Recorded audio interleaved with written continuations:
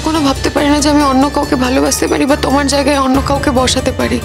মনে না হওয়াটা খুবই অবাস্তব শিরিন হয়তো একদিন এমন কেউ এলো তোমার লাইফে যাকে তুমি আমার থেকে অনেক বেশি ভালোবাসবে। হতেই তো পারে। এটা নিয়ে কেউ গ্যারান্টি করতে পারে না শিরিন আমি তো শুধু এটুকুনিই চাই তোমার কাছে। যে তুমি সারা জীবন ধরে শুধু আমাকে ভালোবাসবে আমার আর কিচ্ছু চাই না অনুজ। আর সেই কথাটাই তো তুমি আমাকে বলেছিলে বলো। হ্যাঁ আমি তোমাকে এখনও ভালোবাসি শিরিন। তোমার যদি সেটা বিশ্বাস না হয় তোমার যদি মনে হয় আমি তোমাকে ভালোবাসি না আমার কিছু করার নেই। আমি অপারক কেন মনে হয় আমার সেটা? না আমার সেটা কেন মনে হয়? নিশ্চয়ই আমার মনে হওয়ার পেছনে কোনো কারণ আছে। বুঝ আমি একটা মেয়ে আর আমি এটুকুনি বুঝতে পারব না। যে কুর্তির প্রতি তোমার একটা আলাদা টান আছে। হয়তো আছে। হয়তো আছে মানে? হয়তো আছে। নিশ্চিতভাবে আছে। যদি টান থেকেও থাকে তাতে অসুবিধার কি আছে? আমার তো আমার মায়ের প্রতিও টান আছে। আমার আমার আমার বাড়ির লোকজনদের প্রতিও আমার অনেক টান আছে। তাতে কি এসে যায়? আর শুধুমাত্র গুড্ডির প্রতি আমার টান থাকলে তো তাতে অসুবিধা হয়ে গেল। আরে গুড্ডি তো আমার শত্রু নয় যে ওর প্রতি আমার কোনো আমার টান থাকতে পারবে না। তোমার বাড়ির লোকের প্রতি তোমার টান? আর গুড্ডির প্রতি তোমার টান আলাদা অনুজ। আমি টানের আলাদা কিছু বুঝি না। টান মানে টান। তার জন্য ফিল করা এর মধ্যে আমি কোনো অন্যায় খুঁজে পাই না। তবুও বলছি সেদিন এই কথাগুলো আমাদের মধ্যে হওয়া উচিত না। কোন কথা থেকে তুমি কোন কথা খুঁজে পাবে কোন কথা দিয়ে আমি তোমাকে আঘাত দিয়ে ফেলব? দেখো আমি সত্যি নিয়ে কখনো কম্প্রোমাইজ করি না। তাই বলছি এই কথাগুলো আমাদের মধ্যে না হয় ভালো। তার মানে তুমি মন খুলে খুলে এই কথাটা বলতে পারছ না অনুজ যে তুমি গুড্ডিকে ভালোবাসো না। গুড্ডির প্রতি আমার টান আছে। আমি অস্বীকার করছি না। গুড্ডির ভালো হলে আমার ভালো লাগে। গুড্ডির খারাপ হলে আমার খারাপ লাগে। আমি স্বীকার করছি।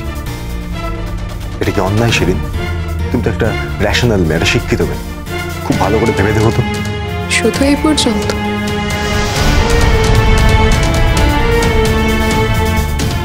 হ্যাঁ শুধু এই পর্যন্তই। যদি সত্যি এই পর্যন্ত হতো না অনুজ তাহলে আমি বুঝতে পারতাম। তাহলে আমার বারবার মনে হতো না যে এরপরেও কিছু আছে। আর বারবার যখনই এটা মনে হয় তখনই আমি দিশেহারা হয়ে যাই আর আমার পায়ের তলার সব মাটি সরে যায়। আরে সেটা তো তোমার সমস্যা আমার তো নয়। বেশ মেনে নিলাম এই সমস্যাটা না হয় আমারই। তো আমাকে এই সমস্যা থেকে বের করার দায়িত্ব তো তোমার অনুজ। তোমার মনে যদি সত্যি কোনো কিছু বাসা বেঁধে থাকে আমি কি করে ক্লিয়ার করব বলো? তুমি আমার হাজবেন্ড অনুজ। তুমি না ক্লিয়ার করলে কে করবে? আচ্ছা, চলো না তুমি তুমি অন্য জায়গায় পোস্টিং নাও আমরা আমরা সেখানে চলে যাই।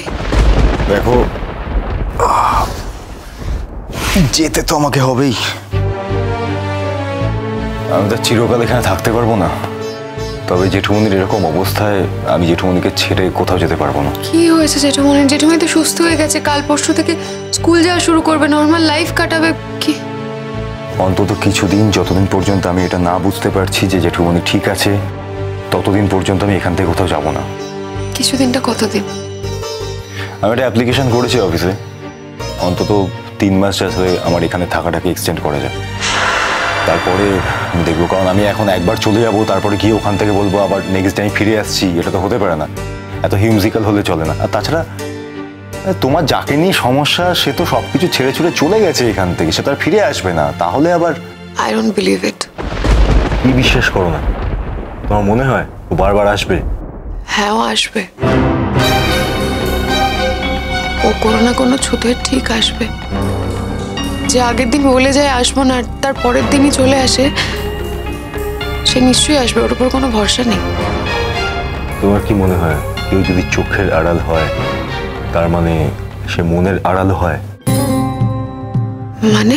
মানে ধরো এই যে তুমি ভয় পাচ্ছ না যে গুড্ডি যদি এখানে আসে তাহলে আমার সঙ্গেও দেখা হবে কথা হবে। তোমার জায়গাটা ইনসিকিউর হয়ে পড়বে আমি গুড্ডির প্রতি দুর্বল হয়ে পড়ব। যদি আমার গুড্ডির প্রতি দুর্বল হবার হয়, তার জন্য কি আমাকে গুড্ডিকে রোজ দেখতে হবে? রোজ যদি আমি চোখের সামনে ওকে না দেখি, আমি ওর প্রতি দুর্বল হব না? তোমার মনে হয় এটা? বারবার তুমি এই কথাগুলো কেন বলছো, অনুজ? আমার এই কথাগুলো ভালো লাগে না, তুমি কি বুঝতে পারো না? আমি তোমার মনে যে অন্ধকারগুলো আছে সেই অন্ধকারগুলো কাটাতে চাইছি তাই বলছি। আমার মনে অন্ধকার আছে? এই যে তুমি ভাবছ যে গুড্ডি এখানে এলেই আমি গুড্ডির প্রতি দুর্বল হয়ে যাব। এটা তো তোমার ভুল ভাবনা।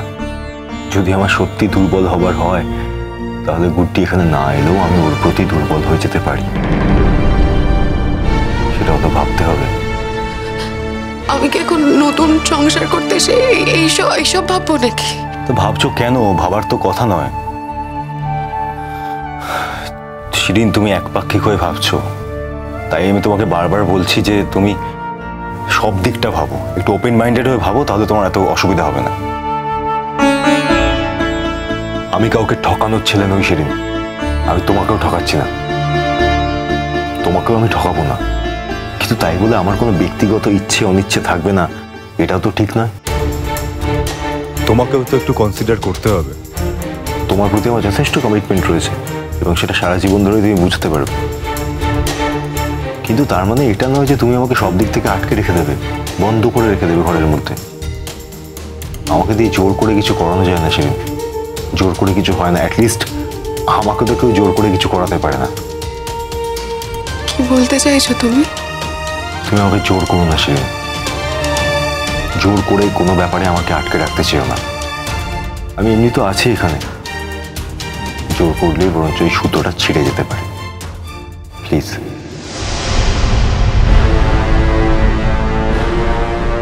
কি বললে? বললাম জোর করো না। জোর করলে যে কোনো জিনিসই তার মাধুর্য হারায়। জোর না করলে আমি এমনিই থাকব। তোমার সঙ্গে থাকব বলেই তো তোমাকে জীবনে নিয়ে এসেছি। তাহলে জোর করে আটকে রাখতে কেন চাইছো তুমি আমার প্লিজ এসব করো না।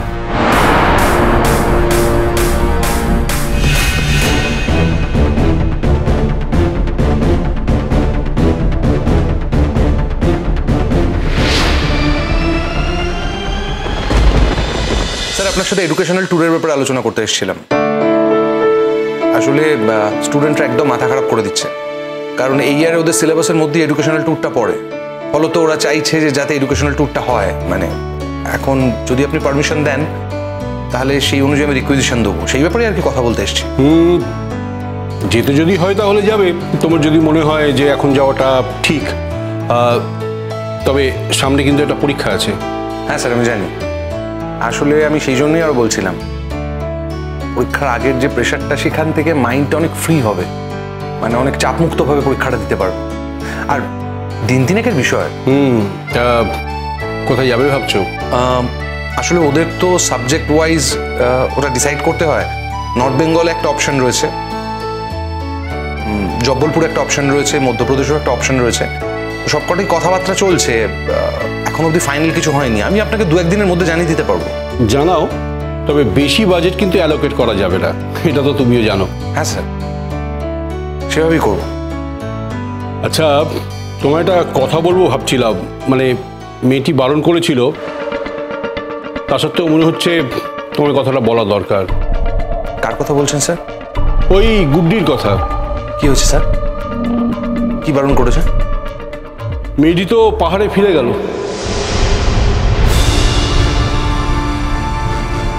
ফিরে গেল মানে? ফিরে গেল মানে ও চলেই যাচ্ছিল। আমি ওকে বললাম যে তুমি একটু দুদিনের জন্য গিয়ে আগে সব খোঁজ খবর নিয়ে এসো। ও তো ট্রান্সফার নেবে। আর সেই সব খোঁজ খবর নিতেই ও ওখানে গেছে। তোমাদের কাউকে বলতে না করেছিল কিন্তু ভাবলাম যে তুমি আমায় বলতে পারো যে স্যার এরকম একটা কথা আপনি আমায় বললেন না। স্যার আপনি কি বলছেন? হুম ও ও কালই আমাকে জানিয়েছে। আর দেখো এখন যদি কেউ জোর করে চলে যেতে চায় আমি তো তাকে আটকাতে পারি না। কিন্তু স্যার ও আমাদের কলেজের একটা ভালো স্টুডেন্ট ওর রেজাল্টের উপর আমাদের কলেজের একটা এক্সপেকটেশন আছে মানে এইভাবে ও চলে চলে যেতে পারে মানে আমি হুম দেখো কিন্তু তাহলেও তো জোর করে কাউকে আটকে রাখা যায় না। সেদিনের ঘটনায় আমি ওকে আমার চেম্বারে ডেকেছিলাম। আমি জানি না সেই অভিমান থেকেই ও এরকম কোনো একটা ডিসিশন নিল কিনা। না স্যার। সেটা থেকে অভিমান করে সিদ্ধান্তটা নেয়নি।